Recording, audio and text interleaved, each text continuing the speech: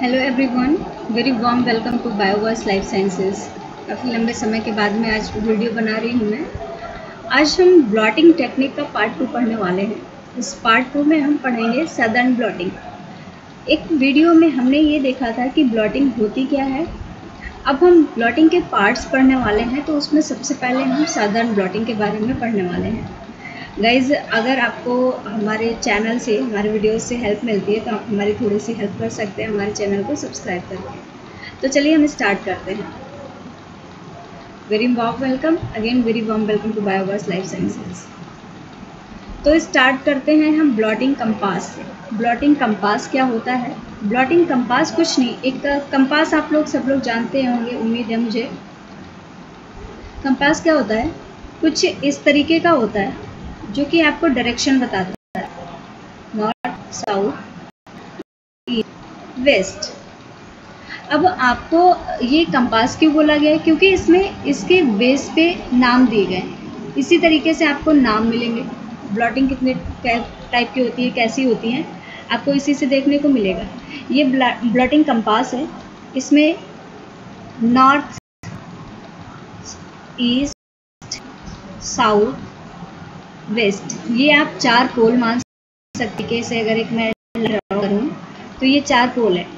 ठीक है, अब इसमें नॉर्थ पोल पे नदर्न ब्लॉटिंग ईस्ट पोल पे है ईस्टर्न ब्लॉटिंग साउथ पोल पे है सदर्न ब्लॉटिंग एंड वेस्ट पे है वेस्टर्न ब्लॉटिंग गाइज़ ये ब्लॉटिंग सिर्फ़ इन चार डायरेक्शंस में ही नहीं है। इसके अलावा भी ब्लॉटिंग है। इनके डायरेक्शंस की सब डायरेक्शंस इस हिसाब से आप याद करेंगे ना तो आपके लिए बहुत ईजी होगा। अब इन दोनों के बीच में आ रहा है तो क्या होगा जैसे साउथ और वेस्ट के बीच में आया तो साउथ वेस्टर्न क्या क्या काम है इन ब्लॉटिंग टेक्निक्स के, वो भी मैं बताऊँगी। एक जस्ट ओवरव्यू दे रही हूँ मैं आपको। नॉर्थ एंड वेस्ट के बीच में तो नॉर्थ वेस्टर्न ऐसे ही है।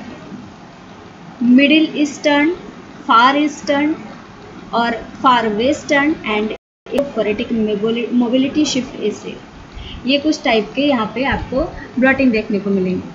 तो अब हम इस पे देते हैं कि बेसिकली ये ब्लॉटिंग टेक्निक्स जो हैं, ये करती क्या है।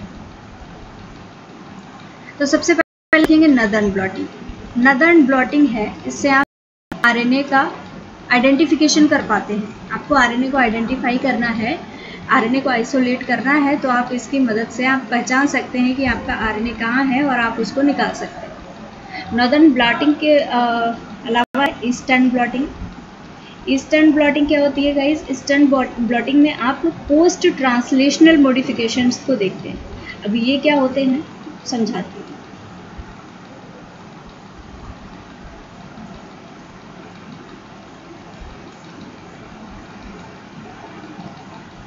बात करने वाले हैं पोस्ट ट्रांसलेशनल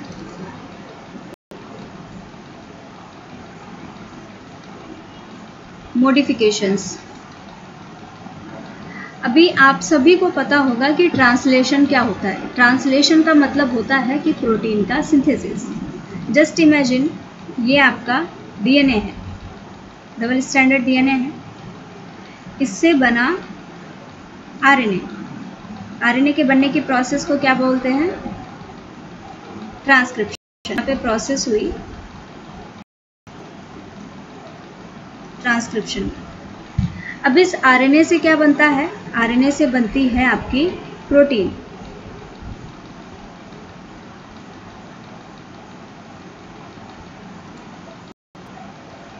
ये है आपकी प्रोटीन। प्रोटीन किस प्रोसेस से बनती है?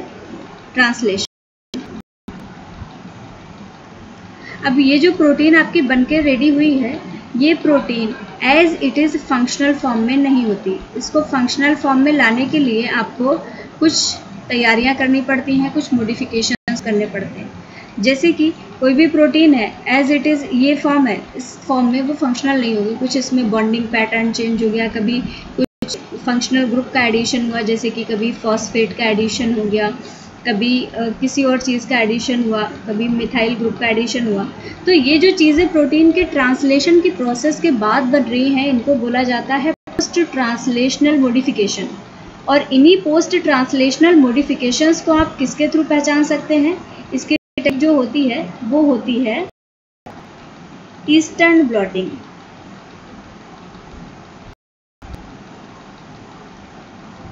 ईस्टर्न ब्लॉटिंग के द्वारा आप कोई भी तरीके का अगर पोस्ट ट्रांसलेशनल मॉडिफिकेशन हो रहा है आपकी प्रोटीन में तो उसको बहुत इजीली आप पहचान सकते हैं। तो ये तो हो गई पोस्ट ट्रांसलेशनल मॉडिफिकेशन की बात। अब हम वापस आते हैं अपने कंपास पे। हमने क्या देख लिया? हमने देख लिया नदर्न ब्लॉटिंग के बारे में और देख लिया हमने ईस्टर्न ब्लॉटिंग के बारे में। अब आते हैं अगली ब्लॉटिंग टेक्निक पे। अब है सदर्न ब्लॉटिंग जो कि आज का हमारा टॉपिक है। इसको हम बहुत डिटेल में पढ़ेंगे। इसे हम डीएनए को आइडेंटिफाई कर पाते हैं और डीएनए को आइडेंटिफाई करने का प्रोसीजर क्या है? ये पूरा ही प्रोसीजर आज के हम वीडियो में पढ़ने वाले हैं। ठीक है? आगे देखते हैं वेस्टर्न ब्लॉटिंग वेस्टर्न ब्लॉटिंग होती है प्रोटीन के आइडेंटिफिकेशन के लिए। प्रोटीन्स के आइडेंटिफिकेशन के लिए हम वेस्टर्न ब्लॉटिंग का यूज़ करते हैं। अब कुछ इनके बिटवीन आती हैं ब्लॉटिंग टेक्निक्स होती हैं। तो वेस्टर्न ब्लॉटिंग की पहले हम अगर बात करें तो वेस्टर्न और नदर्न के बीच में एक ब्लॉटिंग टेक्निक होती है जो कि नॉर्थ वेस्टर्न के नाम से होती है। अब नॉर्दर्न किसके लिए होती है? आरएनए। और वेस्टर्न किसके होती है? प्रोटीन के लिए। तो जो नॉर्थ वेस्टर्न होगी तो वो इन्हीं से रिलेटेड चीज़ें तो बताएगी। तो ये बताती है प्रोटीन और आरएनए के रेशियो को। यहाँ पे सारे साइंटिस्ट जिन्होंने इसको डिस्कवर किया है, सारी टेक्निक्स को, उनका भी नाम भी दिया हुआ है यहाँ पे। इनमें से सदर्न ब्लॉटिंग एकमात्र ऐसी टेक्निक है जिनका जो साइंटिस्ट थे उनका भी नाम यही था। बाकी साइंटिस्ट के नेम तो खैर अलग हैं। तो चलिए, अब हमने देख लिया नॉर्थ वेस्टर्न प्रोटीन और आरएनए का इंट्रैक्शन अब आता है साउथ और वेस्टर्न के बीच में। साउथ और वेस्ट के बीच में आ जाता है साउथ वेस्टर्न अब साउथ वेस्टर्न ब्लॉट जो होता है, ये होता है डीएनए और प्रोटीन के बीच की टेक्निक के लिए। तो ये क्या आइडेंटिफाई करेगा? ये आइडेंटिफाई करेगा डीएनए और प्रोटीन के बीच के इंट्रैक्शन को। ओके अब एक है फार वेस्टर्न वेस्टर्न क्या कर रहा है? प्रोटीन का आइडेंटिफिकेशन कर रहा है। तो प्रोटीन प्रोटीन का इंट्रैक्शन किसके द्वारा पता लगा सकते हैं? फार वेस्टर्न के थ्रू अब एक और है ब्लॉटिंग टेक्निक ही है। नाम थोड़ा सा अलग है। इसका नाम है इलेक्ट्रोफोरेटिक मोबिलिटी शिफ्ट एसे ये क्या करता है? ये डीएनए और प्रोटीन के बीच का इंट्रैक्शन पता लगाता है। गाइज़ एक कंफ्यूजिंग चीज़ है, लेकिन उसको याद रखना ज़रूरी है। साउथ वेस्टर्न और इलेक्ट्रोफोरेटिक मोबालिटी शिफ्ट ऐसे, नाम दोनों का सेम है, लेकिन समटाइम्स अगर आप देखेंगे तो प्रोटीन और डीएनए और प्रोटीन दोनों अलग तरीके के इंट्रैक्शंस हो सकते हैं। अब अगली टेक्निक है मिडिल ईस्टर्न मिडिल ईस्टर्न क्या करती है? आरएनए के बीच के इंट्रैक्शन को बताती है। एंड एक है फार ईस्टर्न फार ईस्टर्न होती है, वो टेक्निक बताती है लिपिड और पोस्ट ट्रांसलेशनल मॉडिफिकेशंस जो हो रहे हैं उनके बीच के इंटरेक्शन को। तो उम्मीद है ये जो ब्लॉटिंग कंपास यहाँ पे दिया है, आपको समझ आया होगा और इससे काफ़ी कुछ आपको हेल्प भी मिलने वाली है जहाँ तक मैं समझती हूँ। तो चलिए, अब हम बढ़ते हैं आगे।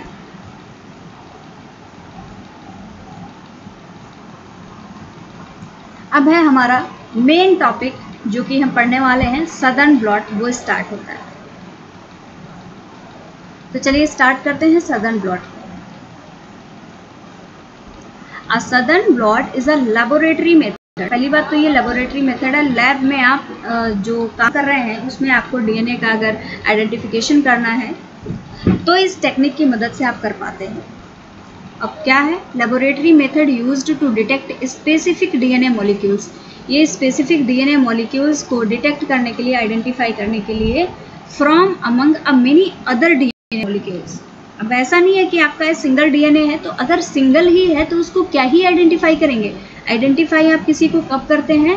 जब वहाँ पे बहुत सारी चीज़ें होती हैं तो उसमें से आपको अपना वाला आइडेंटिफाई करके निकालना होता है कि इसमें से मेरा वाला डीएनए कौन है? तो उसके लिए आप यूज़ करेंगे। सन जो कि आपका जो डीएनए होगा उसका अलग ही एक प्रोब की मदद से डिटेक्शन देगा।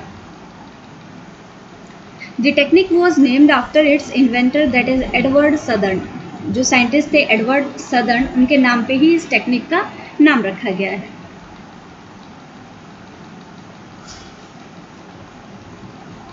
A restriction enzyme is used to cut a sample of DNA in fragments. यहाँ पे प्रोसेस की हम बात कर रहे हैं कि प्रोसेस कैसे होती है, किस तरीके से होती है। तो अब हम प्रोसेस पे आगे बढ़ते हैं। एक रेस्ट्रिक्शन एंजाइम का यूज़ किया जाता है डीएनए सैंपल को फ्रेगमेंट्स में कट करने के लिए। आपने सैंपल को फ्रेगमेंट्स में कट कर लिया क्योंकि आपके पास तो पूरा का पूरा डीएनए मॉलिक्यूल है। इसको एज नहीं ना आइडेंटिफाई करते तो इसको टुकड़े में बांटना होता है। आपको छोटे छोटे टुकड़े करने होते हैं। आपको जब छोटे छोटे टुकड़े मिलेंगे, उन छोटे छोटे टुकड़ों से आप आइडेंटिफाई करते हैं। That are separated using gel electrophoresis अब ये जो टुकड़े होते हैं, इनको जेल इलेक्ट्रोफोरेसिस की मदद से आप पहले सेपरेट करते हैं। Okay next the DNA fragments are transferred out of the gel to the surface of a membrane जो डीएनए फ्रेगमेंट्स होते हैं, अब आपने जेल पे इनको निकाल लिया जेल इलेक्ट्रोफोरेसिस कर लिया, आपको पता चल गया कि आपका कौन सा डीएनए कहाँ पे है। अब क्या करेंगे? आप अपने डीएनए फ्रेगमेंट्स को सरफेस पे किसी मेम्ब्रेन पीवीडीएफ मेम्ब्रेन होती है नाइलॉन मेम्ब्रेन होती है, नाइट्रोसेलुलोज मेम्ब्रेन होती हैं, किसी भी तरीके की मेम्ब्रेन पे ट्रांसफ़र कर सकते हैं। Now the membrane is expose to a DNA probe. जो मेम्ब्रेन होती है, इस पर डीएनए प्रोब को डाला जाता है। प्रोब क्या होते हैं? छोटे छोटे से ओलिगो न्यूक्लियोटाइड सिक्वेंसेस होते हैं। ये भी न्यूक्लियोटाइड सिक्वेंसेस हैं, लेकिन इनमें या तो कोई भी रेडियो एक्टिव टैग या फिर कोई केमिकल टैग लगा होता है, जिसकी मदद से आप आसानी से पहचान पाते हैं कि आपका जो डीएनए ऑफ़ इंटरेस्ट है, जो जीन ऑफ़ इंटरेस्ट है, वो कहाँ पे है। If the probe bind membrane अगर जो प्रोब है, वो मेम्ब्रेन से बाइंड कर जाता है then the probe sequence is present in the sample तो पता चल जाता है कि जो आपका प्रोब का सीक्वेंस है, वो सैंपल में प्रेजेंट है। एक बार मैं आपको खुद से समझाने की कोशिश करती हूँ। जैसे कि हमारा ये यहाँ पे डीएनए फ्रेगमेंट है। ऐसा तो नहीं होता, मैंने गंदा सा बनाया बट काम चला लो ये हमारा डीएनए फ्रेगमेंट है। अब आप क्या करते हैं, कोई भी यहाँ पे आप रेस्ट्रिक्शन एंजाइम लेते हैं।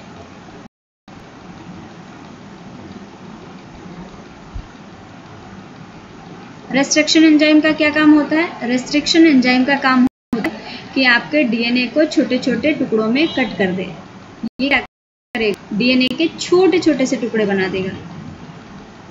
अब आप क्या करते हैं? नेक्स्ट स्टेप आप लेते हैं जेल इलेक्ट्रोफोरेस करवाते हैं।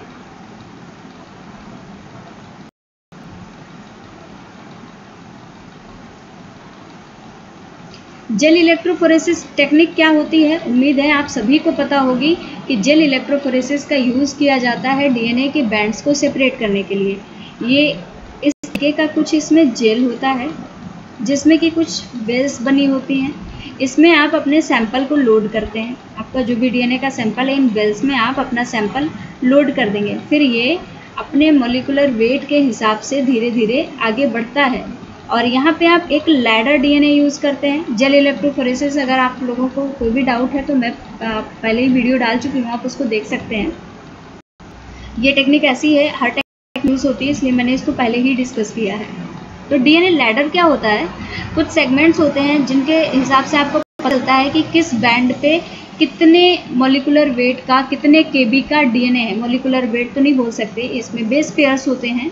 कितने बेस पेयर का आपका डीएनए यहाँ पे प्रेजेंट है? ये डीएनए लेडर की मदद से पता चल जाएगा। अब क्या करते हैं? आपका डीएनए सेपरेट हो गया।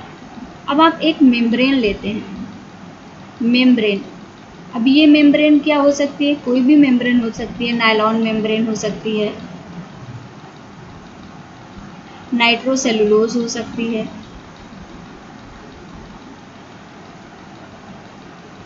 ठीक है, अब आप क्या करते हैं? मेम्ब्रेन को धीरे से इसके ऊपर से रखते हैं। और आती है, आपके डीएनए के जो फ्रेगमेंट्स होते हैं छोटे छोटे वो एज इट इज़ इस पे आ जाते हैं। अब आपके मेम्ब्रेन पे आपके फ्रेगमेंट्स आ गए हैं। ये जैसे कि ये माना कि मेम्ब्रेन है और इस पर आपके फ्रेगमेंट्स आ गए हैं। अब आपको क्या करना है? आपको जो डीएनए चाहिए, जो आपका जीन ऑफ़ इंटरेस्ट है, आपको उससे रिलेटेड कुछ प्रोब बनाने होंगे। यहाँ पे आएँगे प्रोब को। प्रोब क्या होते हैं? छोटे छोटे से न्यूक्लियोटाइड सीक्वेंसेस मैंने पहले भी बताया। ये स्पेसिफिक होते हैं। आपको जैसे ए टी जी ये बेस पेयर चाहिए। आपने इस बेस पेयर का एक प्रोब बनाया इसको केमिकल से या किसी रेडियो एक्टिव मटेरियल से टैग कर दिया अब आपने यहाँ पे इसको डाल दिया। उसके बाद में क्या करते हैं, एक बार वॉशिंग कर देते हैं ताकि जो अनबाउंड प्रोब हैं, जो बाइंड नहीं किए हैं, वो वॉश हो जाएँ। अब वॉश कर दिया, फिर आपको क्या करना रहता है, आप ये देखते हैं कि जो मेम्ब्रेन है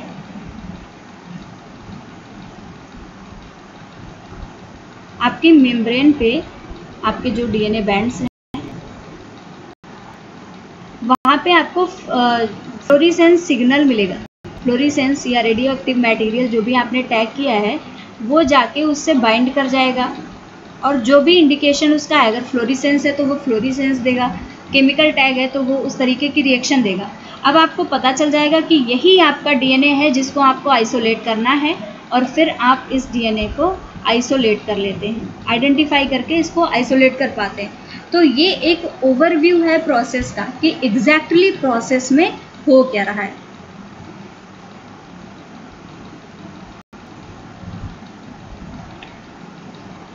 तो चलिए हम वापस आते हैं अपने टॉपिक पे। तो ये हमने देख लिया कि किस तरीके की प्रोसेस चल रही है। अब यहाँ पे मैंने एक ओवरव्यू बना के भी रखा है। हालाँकि मैंने कोशिश की है कि मैं खुद से समझाऊँ आपको तो शायद बेहतर समझ में आए। बट फिर भी मैं समझाना चाहूँगी कि यहाँ पे आपने डीएनए लिया। डीएनए का रेस्ट्रिक्शन डाइजेशन कराया। किसी भी आपका जो रेस्ट्रिक्शन एंजाइम है उससे छोटे छोटे से डीएनए फ्रेगमेंट्स मिले आपको। उन छोटे छोटे फ्रेगमेंट्स को आपने एग्रोस जेल इलेक्ट्रोफोरेसिस की मदद से सेपरेट कर लिया। जब आपके फ्रेगमेंट्स सेपरेट हो गए, तब आप क्या करते हैं? आपका जो डीएनए है, उसको छोटे सिंगल स्टैंडर्ड डीएनए में कन्वर्ट कर लेते हैं। डिनेचुरेशन की प्रोसेस होती है यहाँ पे, जो कि मैंने ये स्टेप अभी आपको नहीं बताया बट ये स्टेप भी होता है। हालाँकि ये डायग्राम भी मेरा खुद का ही बनाया हुआ है, आप लोगों को समझाने के लिए मैंने खुद से अपने हाथों से ही बनाया है। तो सिंगल स्टैंडर्ड डीएनए में इनको डिनेचर कर लिया। अब इनको क्या करते हैं? जेल से मेम्ब्रेन पे ट्रांसफ़र कराते हैं। मेम्ब्रेन पे आपके फ्रेगमेंट्स ट्रांसफ़र हुए। ट्रांसफ़र होने के बाद में क्या करना रहता है, आप इस पर प्रोब को ऐड करते हैं। अब प्रोब ऐड करने के बाद इसमें एक ट्रांसफ़र बफर भी होता है, जिस सॉल्यूशन आप प्रोब्स को डालते हैं। ये सॉल्यूशन बफर की मदद से ट्रांसफ़र बफर है, उसकी मदद से ये आपके प्रोब्स इस पे पहुँचते हैं। फिर आप क्या करते हैं, जो प्रोब्स अनबाउंड हैं, बाइंड नहीं हुए हैं, उनकी वॉशिंग कर देते हैं। और अगर आप यहाँ पे समझाना चाहूँ कि प्रोब पिंक कलर का है तो यहाँ पे आपको इंडिकेशन मिल जाएगा कि ये पिंक कलर का दिख रहा है, यही आपका जो डीएनए आप आइसोलेट करना चाहते हैं, वो यही है।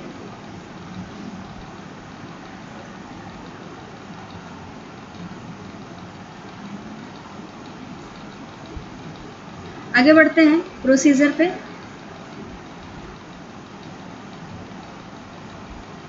यहाँ पे फिर से एक